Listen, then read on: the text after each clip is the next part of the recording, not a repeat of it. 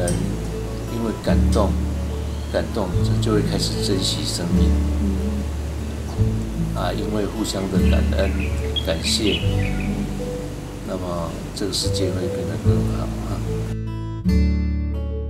各种人的生命的故事，那，生命的故事，那么一直不停的在上演，主角一直在变，所以感动的故事越来越多。我看过你们这一个这本书的一些题目，那，我是觉得里面有一点很好，是讲希望。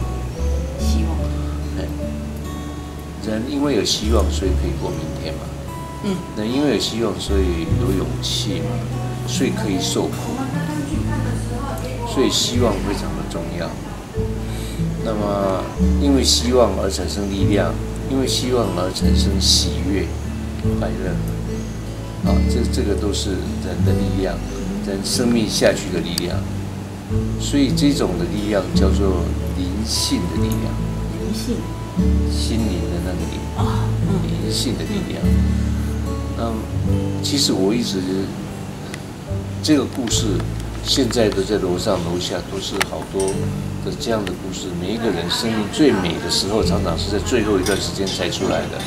好，我们试着让最后一段时间变成一个感恩的时刻，啊，变成一个啊互相道歉、道别、互相道谢的一个时刻。